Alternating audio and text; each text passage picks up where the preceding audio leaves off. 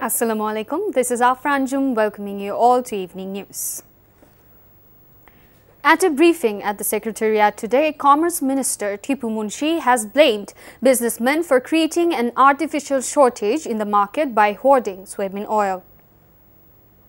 কিন্তু ওনাদের বিশ্বাস করেছিলাম কিন্তু ঈদের সাত দিন তারা সেই বিশ্বাসটা রাখে নাই এটা হলো আমাদের ব্যর্থতা এই জন্য আমরা দায় মেনে নিচ্ছি স্টেবল করার জন্য আমরা সার্বিক ব্যবস্থা নিয়েছি, দাম বাড়িয়েছি এবং হোপফুলি দুই থেকে তিন দিন মানি ট্রানজ্যাকশন শুরু হলে ব্যাংকের বাজারে যে দাম ফিক্স করেছেন সেই দামেই মাল পাবে।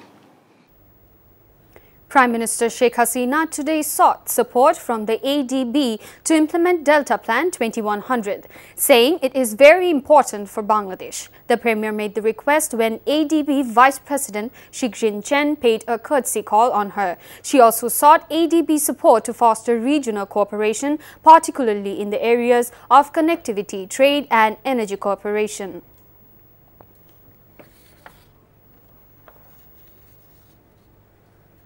TIB has expressed its concern over the draft of the Data Protection Act 2022, which could potentially become another black law. In a detailed report, they have pointed out inconsistencies, irregularities, and redundancy in some provisions of the draft. TIB said that, that the draft doesn't contain any definition of personal information, which has a dangerous potential to be misused by many parties.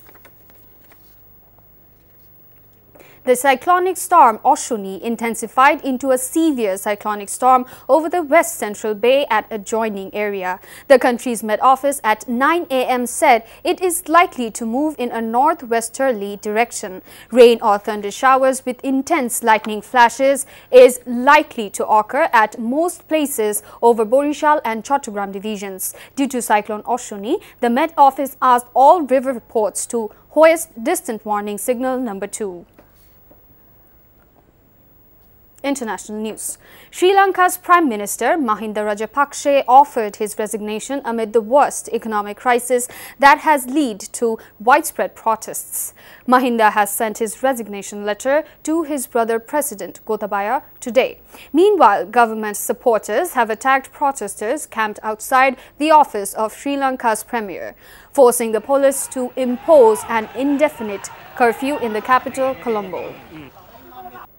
And that's all from the newsroom for now. To know updates, videos of this bulletin, visit our website www.ntvbd.com. Besides, visit our YouTube and verified Facebook page for updates over NTV's all popular programs and bulletins.